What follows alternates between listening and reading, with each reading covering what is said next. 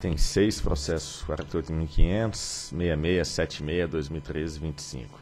Recurso administrativo interposto pela Companhia Energética do Ceará em face do AI 11 de 2012 da ARCE, que aplicou a penalidade de multa em decorrência de fiscalização que teve por objetivo a avaliação da qualidade do serviço do fornecimento de energia prestado pela concessionária. Diretor relator, doutor André Peptoni. A Companhia Energética do Ceará, Coelce, interpôs recurso administrativo contra o auto de infração de 5 de novembro de 2012, lavrado por nossa parceira no estado do Ceará, a ARCE, que aplicou multa de R$ 5.299.000 mil pelo descumprimento das disposições contratuais e regulamentares relativas à prestação de serviço de distribuição de energia elétrica. A Coelce, pela carta de 14 de novembro de 12, encaminhou petição para reformar a decisão acatada parcialmente pelo, dire... pelo Conselho Diretor da ARCE, considerando as não conformidades relacionadas na tabela 1, que implicou na redução da multa para 4.753.000. mil. E aqui a gente cita, são diversas não conformidades. A recorrente, por intermédio de carta de 25 de janeiro de 12, solicitou reconsiderar a decisão ou, alternativamente, rever a dosimetria que, mediante o não acatamento, ensejou o envio do processo para apreciação da ANEL, por meio do ofício de 7 de novembro de 2013. Em 2 de dezembro de 13, a matéria foi distribuída para essa relatoria, que enviou o tema para apreciação da SFE pelo memorando 421 em 29 de junho, julho de 14, a SFE exarou a nota técnica 118, que se limitou a verificar o rito preconizado na Resolução 63 e julgar o mérito discutido entre a ACE e a COELSE, objetivando verificar se as não conformidades corresponderam às irregularidades constatadas e foram corretamente enquadradas, se a dosimetria fora, fora coerente de modo a aderir com a prática adotada pela a postura da ANEL e se a concessionária apresentara argumentos técnicos que justificassem descaracterizar as não conformidades ou modificar as sanções impostas. Assim, senhores diretores, a unidade organizacional ASFE acatou parcialmente o pleito recorrente, baseado nas seguintes considerações. Primeiro, revira as sanções com redução da multa das não conformidades N1, N2, N4, N5, N6 e N7, que são todas irregularidades verificadas em subestações, então, já que se representava idêntica irregularidade, a SFE recomendou agrupar esse, essas não conformidades em uma única sanção, mantendo a abrangência da sanção imposta e o percentual de danos estabelecidos pela ARCE, atribuindo, porém, menor valor para a gravidade. A SFE também alterara a tipificação da não conformidade N13 que é o descumprimento de prazos de informações aos consumidores, e converter a penalidade em advertência nos termos do artigo 8 da 63. E mantiver as deliberações da AS referentes às não conformidade N9, que diz respeito a prazos inapropriados para corrigir anomalias, e a N14, não regularizar a atenção do consumidor no prazo regulamentar. Então, após a análise da SFE, que agrupou a N1, 2, 4, 5, 6 e 7 em uma única não conformidade, pelo fato de tra tratar-se de um mesmo objeto, ou seja, de infrações em manutenção de subestação, e pelo fato também de ter transformado a N13 em advertência, chega-se a um novo valor atribuído à penalidade. E em 9 de janeiro de 2015, é, instei a Procuradoria Federal da ANEL a se manifestar, e essa o fez pelo parecer 18 de 2015, que auxiliou a fundamentação da matéria ao relatório. Procuradoria. A Procuradoria examinou esse caso por meio do parecer 18 de 2015, que é um parecer bastante extenso e que vai analisando cada uma dessas não conformidades em relação ao seu enquadramento, dosimetria. Né? O nosso opinativo, assim como entendeu o SFE, foi pela a aplicação de uma única sanção para as não conformidades N1, N2, N4, N5, N6 e N7, por se tratarem, na verdade, da mesma irregularidade. Opinamos também pela alteração da tipificação do artigo da não conformidade N13, passa a ser apenada por, por advertência. E opinamos também pela manutenção das demais penalidades. Com isso, a, a Procuradoria opina pelo conhecimento e provimento parcial, na mesma linha da, da nota de, opina, de opinativo da SFE. Então, quanto à tempestividade, considerando que os pressupostos legais de admissibilidade recursal foram observados, recepciona-se o recurso. E quanto ao mérito, a N1 é resultante do não atendimento da concessionária de medidas de manutenção preventiva ao pleno funcionamento dos ventiladores do sistema de ventilação forçada do transformador da subestação Calcaia. Além da falha de um dos oito ventiladores de primeiro estágio, houve também falha generalizada do acionamento de todos os oito ventiladores de segundo estágio. A concessionária, no recurso administrativo, sustentou que, de acordo com as ordens de trabalho, não foram encontrados defeito nos oito motoventiladores, afirmando que rotineiramente realiza inspeções para detectar defeitos. Assinala-se que constatou-se as falhas detectadas pela fiscalização e que garantiu o pleno funcionamento dos ventiladores, em última instância, significa continuidade e regularidade do serviço. O que não foi observado, então, está caracterizada a não conformidade. Sobre a N2, decorre também de operação do transformador na subestação messejana com visor é, recipiente sílica gel em estado opaco, impossibilitando verificação correta do grau de saturação da sílica. A recorrente afirmou que monitora a qualidade do óleo e que a constatação não resultou em interrupção do fornecimento de energia elétrica, alegando que a fiscalização não teria se pautado nos princípios da finalidade e razoabilidade. A não conformidade foi detectada, tem problema com, com a visualização do, do, do recipiente sílica gel, logo a, a, deve ser mantida a, a, não conformidade. No que diz respeito à N4, é, identificou-se visores também opacos na subestação messejana, subestação aldeota, subestação calcaia com problema de fiação e iluminação no pátio do BEI, subestação Presidente Kennedy, onde a chave do óleo apresentou emendas de cabos feitas de forma inadequada, e a concessionária alegou que nas razões recursais que não fora indicada nenhuma norma que tenha sido descumprida e que as alegações da fiscalização não significariam omissão da COELS no cumprimento das obrigações contratuais e baseado no fato de que tais constatações comprometem de forma relevante o dever da continuidade e segurança da prestação de serviço de eletricidade, a não conformidade deve ser mantida.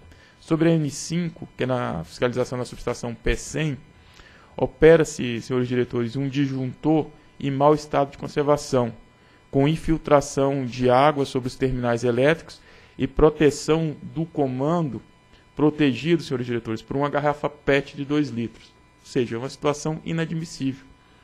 A não conformidade frente a, a tal solução precária restou plenamente caracterizada e agiu certo a fiscalização em, em penalizar a concessionária. Ou seja, você submete a, o risco do, do, fornecimento e a segurança da, do suprimento de, de energia para uma subestação com comandos protegidos com garrafa PET, algo totalmente desarrazoado. Referente à N6, na subestação Presidente Kennedy, identificou-se inexistência de parede corta-fogo entre os transformadores T1 e T2.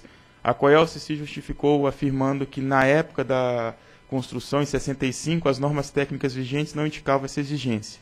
Essa argumentação não foi aceita pela área técnica da ANEL, pois houve revisões das normas, ficando claro a necessidade de readaptações das instalações, o que resultou na manutenção da não conformidade.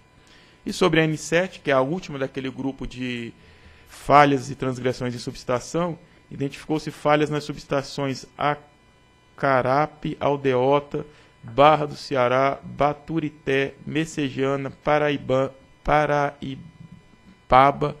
P100 e Presidente Kennedy, por operar transformadores de força de total ou parcial sem sistema de contenção de coletas e drenagem de óleo isolante. A recorrente repetiu as mesmas alegações referentes às normas vigentes, que mais uma vez não foram acatadas, mantendo-se as não conformidades. Bom, do conjunto englobando as não, as não conformidades N1 a N7, a SFE, pela nota técnica 118 de 2014, emitiu juízo considerando que, por se tratarem de idênticas irregularidades, seria coerente agrupá-las em uma única sanção, mantendo a abrangência imposta e o percentual de dano estabelecido pela ARCE, atribuindo, porém, menor valor para a gravidade, conforme dados constantes da tabela 2, que é o cálculo da SFE. Sobre a não conformidade N8, refere-se ao desrespeito a alturas mínimas em relação ao solo e a edificações exigidas para condutores de tensão de 13.8 e 69 kV. Esse é um ponto recorrente na, na concessão da COELS. Constantemente nós estamos apreciando processo.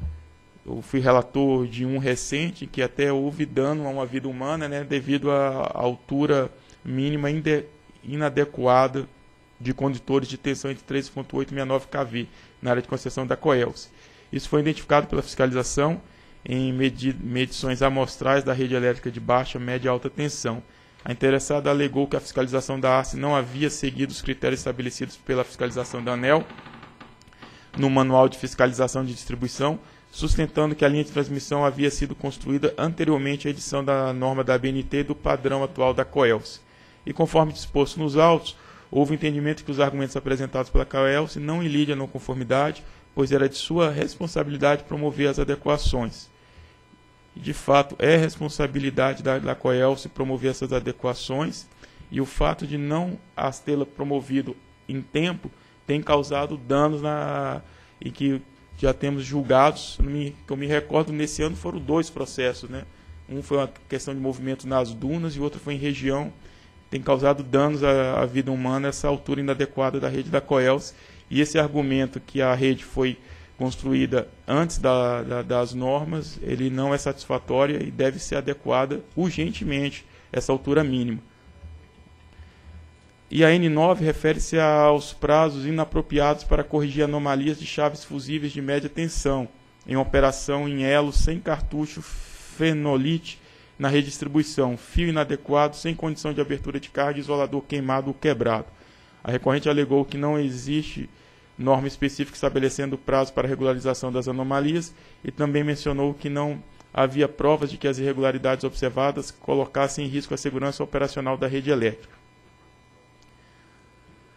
Ora, a argumentação da COELS não deve ser acatada sob o fundamento de que não é factível que o poder concedente normatize todas as hipóteses possíveis, bem como estabeleça prazos para todos os tipos de irregularidades indicadas na ação de fiscalização. Mesmo não existindo prazo máximo para a regularização das anomalias, não é razoável, senhores diretores, a correção das irregularidades em prazos adotados pela COELS, pois os mesmos ocorreram centenas de dias após a autuação justamente no tipo de prestação de serviço que necessita célere regularização. Então a conformidade é mantida. E quanto à N13, que diz respeito a descumprimento de prazos de informações aos consumidores, a SFE entendeu que efetivamente a tipificação aderia ao inciso terceiro do artigo 3 da 63, que é deixar de informar os consumidores, e não ao inciso 2 do artigo 6 da 63, que é descumprir disposição legal segundo adotado pela ACE, efetivou a alteração da multa para advertência com que se concorda. Em relação à N14, que é a última, não regularizar a atenção do consumidor no prazo regulamentar após recebimento da reclamação, bem como da não compensação financeira ao mesmo e aos, aos demais consumidores ligados no mesmo ponto de conexão, a requerente admitiu a ocorrência, ficando caracterizada então a não conformidade.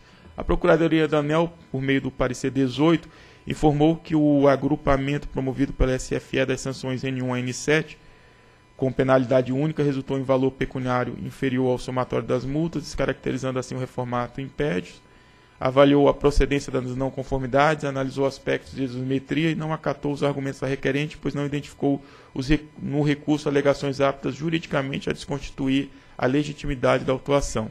E analisados os autos, essa relatoria entende consonância com a manifestação da ARCE, da SFE e da Procuradoria Federal da ANEL e manifesta-se pelo acolhimento parcial das razões recursais peticionadas pela COELSE para manter a decisão conforme exposto neste relatório. Com apoio nessa fundamentação e no que consta no processo 48.500.00.6676-2003, dígito 25, Voto por conhecer do recurso administrativo interposto pela COELS contra o auto infração lavrado pela ARCE e no mérito dar-lhe parcial provimento para converter a multa da não conformidade N13 em advertência, nos termos do artigo 8 a 63, e acatar o juízo de reconsideração da SFE e alterar a multa para 2.856.000 reais a ser recolhida conforme a legislação vigente é o voto. Em discussão. Em votação. Eu voto com o relator. Também voto com o relator. Também acompanho o relator. Também voto com o relator. Proclamo que a diretoria decidiu por conhecer do recurso administrativo interposto pela COELSE contra o auto-infração emitido pela ARCE em decorrência de fiscalização que constatou o descumprimento aos índices de qualidade do serviço de fornecimento de energia elétrica prestado pela concessionária em 2012 e no mérito dá-lhe parcial provimento para converter a multa da não conformidade N13 em advertência, nos termos do artigo 8 da Resolução 63 de 2004, e também acatar o juízo de reconsideração da SFE e alterar a multa para R$ 2.856.180. Próximo item.